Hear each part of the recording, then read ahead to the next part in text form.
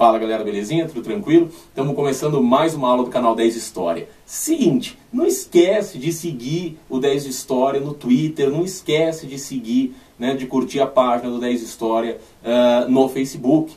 Né? Porque às vezes você se inscreve no canal e você recebe um aviso de vídeo, mas você não recebe pelo canal, pela inscrição do canal, o aviso de uma nova lista de exercício no site 10história.com.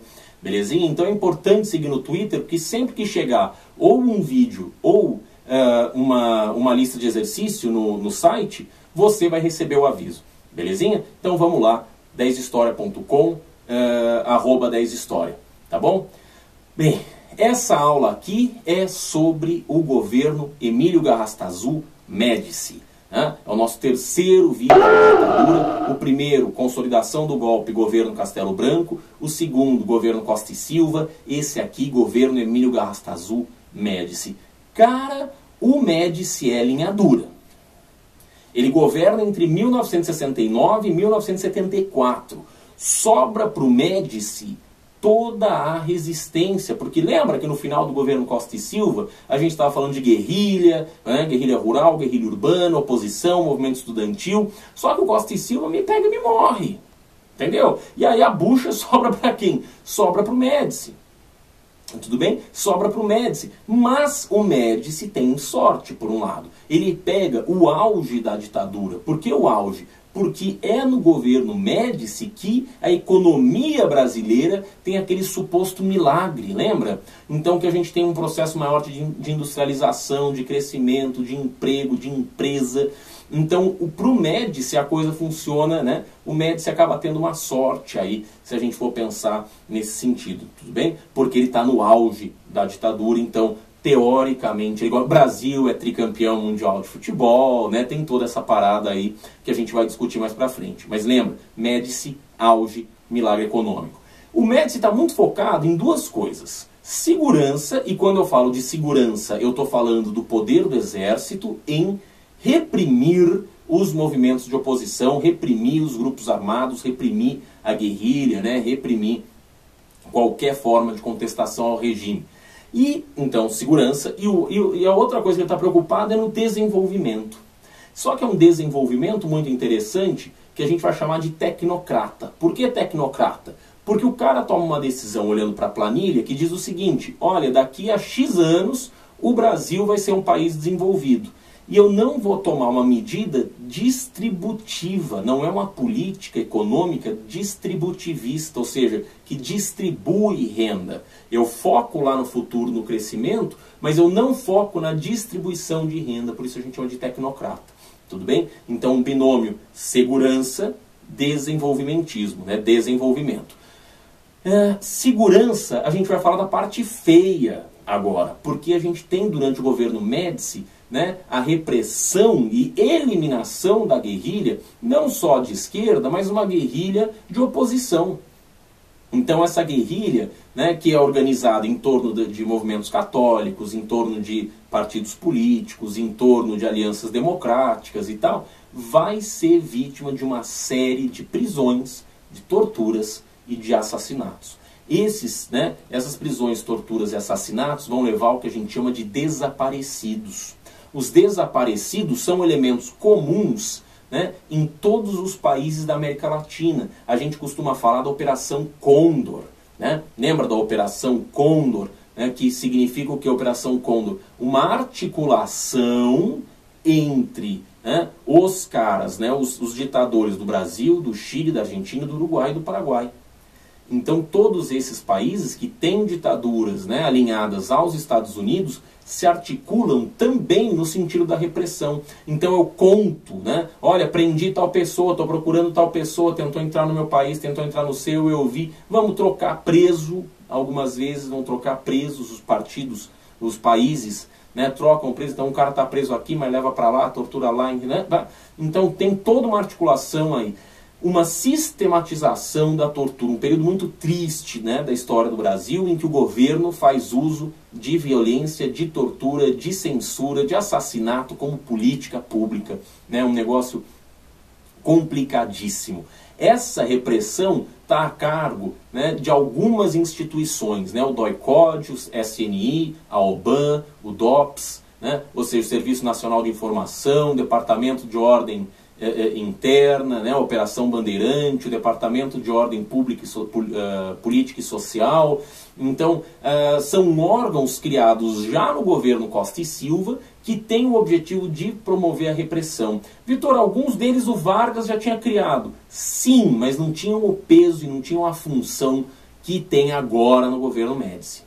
Tá? Então é agora que esses órgãos vão botar aí né, o circo na rua, como a gente chama, né, vão botar o camburão na rua, né, a, a, a polícia toda para reprimir e para exterminar.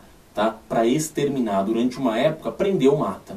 Né, tortura e mata. Ou mata em troca de tiro com a polícia. Né? Quer dizer, você não tem uma preocupação muito grande em preservar a vida da oposição. Né? Na verdade, a oposição está censurada, a democracia está censurada, qualquer movimento democrático né, que divisasse democracia ia passar por uma forte repressão do governo. A gente tem algumas imagens aqui né, de pessoas que estão é, sendo perseguidas, o governo vai lançar, ah, você é terrorista, você quer acabar com a família, você quer acabar com os costumes.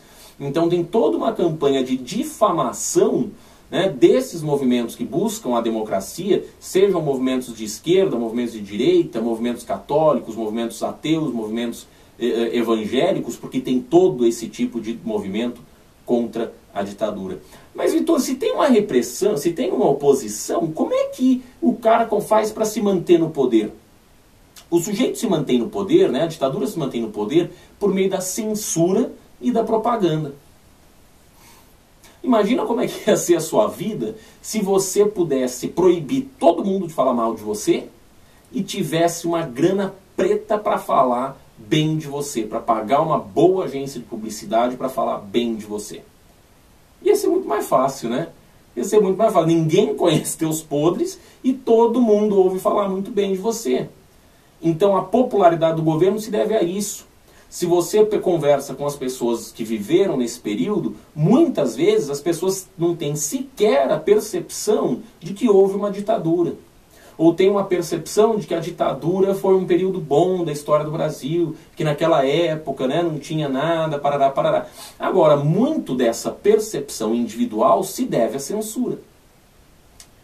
Tudo bem? Eu não, eu, eu não sei das coisas ruins do país. Ah, não tinha corrupção. Tinha, a gente não sabia. Tudo bem? Então, uh, uh, precisamos confiar na memória, mas a gente precisa lembrar que a memória é uma ilha de edição. Muitas vezes você lembra do seu passado de uma maneira muito boa. Eu ouvi uma vez minha mãe falando, ah, eu tenho saudade dos anos 80. Falei, mãe, nos anos 80 a gente tinha uma inflação de 1.800% ao mês. Como dá para ter saudade de uma inflação de 1.800% ao, desculpa, ao ano? Né? Uma inflação de 1.800% ao ano. Como que você tem saudade disso? Uma recessão, uma crise uma crise econômica sem fim, um absurdo. Tá? Então, às vezes, a gente tem uma memória aí que nos trai, né? É uma memória que às vezes nos trai. E o governo faz uso de diversos slogans ufanistas e otimistas. Por exemplo, isso daqui, né, na Semana da Pátria de 1970, logo depois do Brasil ser campeão mundial de futebol pela terceira vez, vai aparecer esse slogan, olha só que bonitinho, ninguém mais segura esse país. Né? Então dá uma sensação de que a coisa está melhorando, de que o Brasil é o país do futuro e que a gente está chegando a passos largos nesse futuro. Né? A gente sabe o que, vai acontecer, mas a, a, a, sensação, a percepção que as pessoas comuns têm é justamente essa. Né? Eu tenho diversas músicas que falam muito bem do Brasil. Né? Eu te amo, meu Brasil, eu te amo. Moro num país tropical. Né? É, é, várias canções aí que a gente chama de ufanistas, por que ufanistas? Porque elas procuram trazer a percepção de que o Brasil é um país abençoado por Deus, que tem uma natureza fantástica. Ah, é letra de música, né? Que, que o Brasil é um país abençoado por Deus, que tem uma natureza fantástica e que você é feliz, né? que você tem pouca coisa, mas que você é feliz. Dá uma lida né? nessas músicas ufanistas. Eu vou gravar um outro vídeo sobre isso e vou colocar aqui para você ver o papel da cultura. Né? Tá certo? O papel da cultura para te cegar, para te convencer de que está tudo bem quando não está tudo bem. Tá? Bom, apesar de eu ter slogans ufanistas e otimistas, eu também tenho músicas já mais antigas e contemporâneas à ditadura que criticam o governo. Né? Olha só que divertida essa música aqui do Carlos Lira, de 1962, que é a canção do subdesenvolvido, né? que o Brasil um dia acordou e deixou de ser um gigante adormecido e passou, né? e, e se levantou um anão, quer dizer, não era um gigante, era um país subdesenvolvido.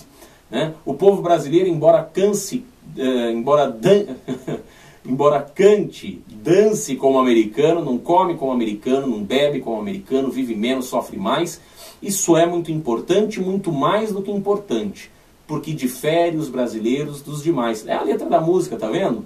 Não sou eu quem está dizendo, é o Carlos Lira que está dizendo que a gente tem uma personalidade sem igual, porém subdesenvolvida. Então, esse tipo de gente, esse tipo de canção, né, é um tipo de canção muito perseguido, muito combatido e, sobretudo, censurado. Né? Você não pode simplesmente sair por aí falando mal do governo. A gente tem o AI-5, tem censura prévia. Né? A, a, a imprensa não pode falar mal. Né? As capas das revistas são censuradas, os textos são censurados. A gente sabe aquela história né? de botar uh, receita de bolo no meio da notícia. Né? Lembra disso? que, a, que a, a, a, revista quer falar, o jornal quer falar, né? Ah, ontem no centro da cidade, bolinho de arroz. Três xícaras de farinha, duas xícaras de arroz, saca? Então você começa a dar notícia como se a notícia fosse né, acontecer. Só que aí vem a censura e risca o que você não pode falar. Então o, os jornais começam a colocar o quê? No meio disso, truncado no texto, o jornal começa a colocar exatamente isso. Ó, fui censurado, mas não posso te dizer. Então, no lugar do que eu não posso te dizer, eu coloco um, uma receita de bolo, uma receita de qualquer coisa. E aí você percebe que tem alguma coisa que eu não posso dizer e que estou te dizendo qualquer coisa que eu posso. Entendeu? Tá bem? Nesse, nesse período, o Brasil vai valorizar as conquistas esportivas no futebol, no automobilismo. O, o, o Médici vai chamar né, os campeões de futebol para vir a Brasília, ou para irem a Brasília, na verdade, né, para passar por ali para conhecer o presidente, o presidente conhecer os jogadores, o presidente se deixar fotografar ao lado dos jogadores, tá vendo? Tudo bem? Aqui as imagens, né? O Parreira, o Carlos Alberto, o Parreira não, o Zagallo, o Carlos Alberto Torres, né? O pessoal aqui comemorando. Tem também a questão da Fórmula 1, né? A gente vai ter uma equipe brasileira, temos Zé Carlos Patti, temos o, o, o Emerson Fittipaldi, né? Tudo bem? Então é um período que a gente vai associar muito sucesso. E não vamos associar o fracasso a esse período. Por exemplo, uma tentativa de ocupar a região norte, né? uma tentativa de ocupar a região amazônica. Qual era o interesse? Seria né, o, o interesse de evitar o inchaço do centro-sul, porque o, o centro-sul está inchado desde a época do JK e tá, só faz piorar. Né? Então a gente quer levar investimento para a Amazônia. Vamos criar superintendência para a Zona Franca de Manaus. Querido, a gente sabe que isso não funciona muito bem. Quer dizer, a zona de Manaus está lá, ou está ali. Se você é manauara, me conta aqui como é que é isso daí. Como é que é, cara, morar na Zona Franca de Manaus? Conta para a galera da Ex-História. Escreve aqui embaixo. É, mas não funciona. Por que, que não funciona? Porque é longe, porque é floresta, porque é um solo complicado. Nós vamos tentar construir a Transamazônica, que não vai funcionar também. Né? Nunca termina a Transamazônica. É, e, e, o que, que acontece? Qual que é a consequência disso? Dizimação de povos indígenas. Morre muito índio, porque a gente vai entrar né, nessa floresta, nessas regiões mais isoladas, então morre muito índio luta pela posse de terra, desmatamento, assassinato de seringueiro, assassinato de ambientalista. Lembra, a gente já está em 1970 e pouquinho, a gente já está falando daqui a pouco de Chico Mendes. Né? Aquele seringueiro, lembra? que vai tentar defender a floresta, inventa... Então, esse conflito rural, que até hoje o Brasil é o país que mais mata ativistas ambientais, que mais tem, né, um dos países que tem uma questão agrária ainda extremamente tensa, com o MST que invade fazenda, com fazendeiro que mata membro do MST, tem casos de polícia que vai lá abafar e mata todo mundo, então uma loucura. Né? Então a, a tentativa de ocupação da Amazônia é um dos grandes fracassos da ditadura civil-militar brasileira que a gente joga para debaixo do tapete, que as pessoas poucas vezes sabem. O que, que o governo faz questão de propagar? o governo faz questão de propagar o chamado milagre econômico brasileiro, que é um período, milagre entre aspas, é um período em que a economia brasileira cresce 10% ao ano. É muitíssimo. É um período que vai de 1969 a 1974. Cinco anos crescendo quase 10% ao ano, ou um pouco mais de 10% ao ano, enfim, 10% em média. O ministro da Economia é um sujeito chamado Delfim Moreira Neto, que está no circuito até hoje, viu? Você encontra entrevista do Delfim, coluna do jornal, muitas vezes ele é chamado a comentar. Bom, qual que foi a mágica que não é muito mágica? A mágica foi a seguinte: nós vamos facilitar o crédito né, para os bens de consumo duráveis. Então é fácil ter dinheiro para comprar bens de consumo duráveis. Com isso, nós vamos ampliar a indústria de base estatal, porque se eu vou consumir bens de consumo duráveis, a indústria de base tem que estar preparada para produzir aço, transportar energia, para Então essa indústria de base né, estatal vai ser modernizada.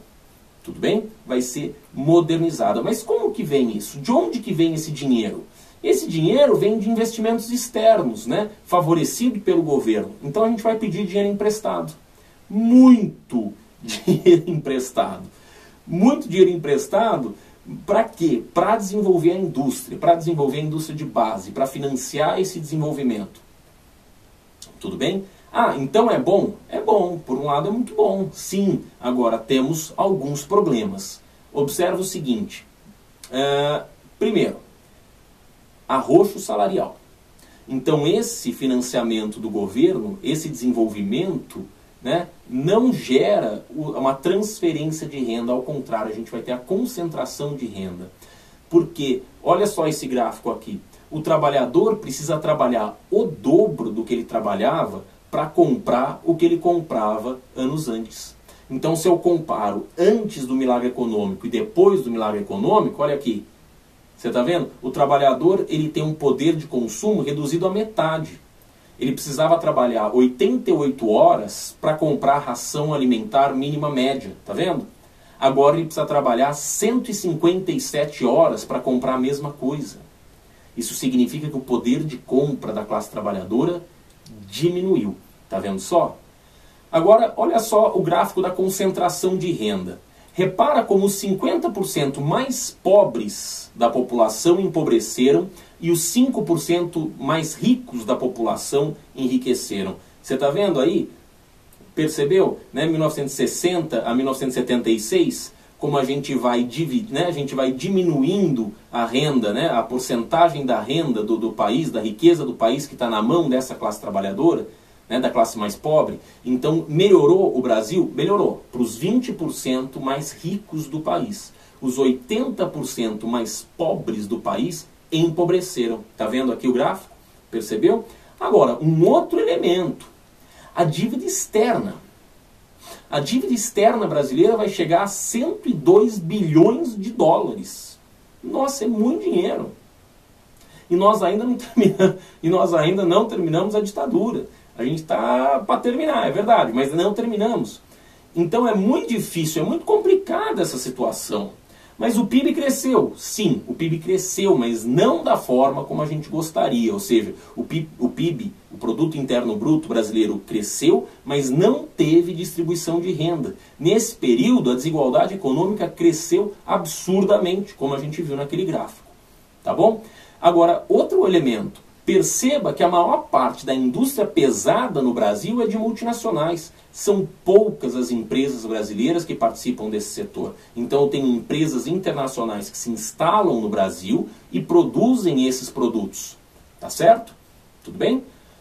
Bom, para além do milagre, a gente tem obras faraônicas. Por exemplo, a rodovia Transa Transamazônica, que nunca terminou, a rodovia Rio Santos, a ponte Rio-Niterói, a ponte Colombo-Salles, as hidrelétricas de Ilha Solteira, Passo Fundo, né? Tudo bem? São todas, ó. Ah, Vitor, mas são obras úteis, importantes, para Sim, mas a gente escolhe fazer obras muito grandes. E algumas nem são tão interessantes assim. Né? Poderiam ser uh, melhores. Né? Tem uma discussão aí da integração nacional que o pessoal da geografia faz. Né? Que a gente pode ver uh, nas aulas de geografia.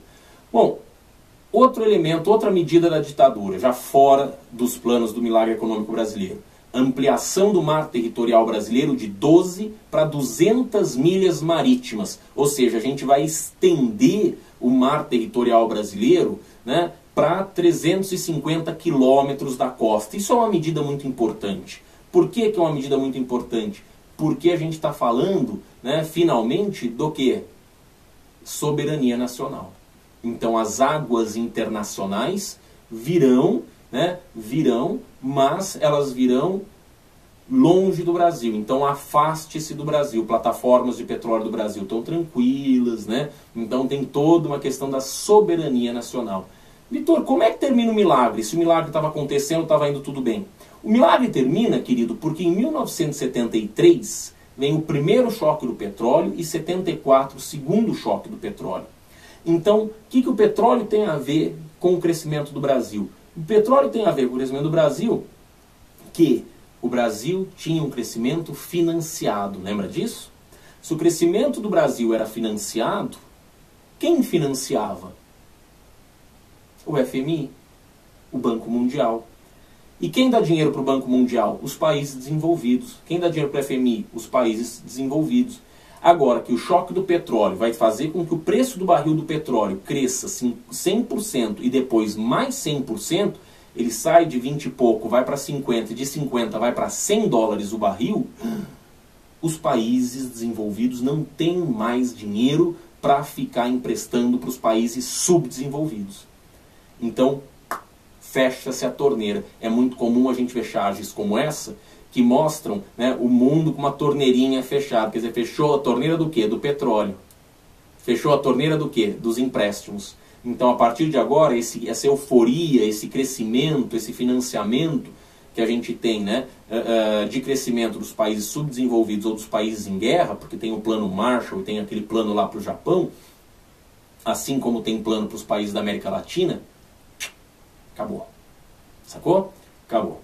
Agora, nós vamos encerrar esse vídeo por aqui e no próximo vídeo, próxima aula, governo Ernesto Geisel. Nós vamos ver que o Geisel bateu e apanhou, mas abriu os porões e abriu o começo, né, abriu o começo do fim da ditadura. Se liga, próxima aula a gente resolve isso. Até mais.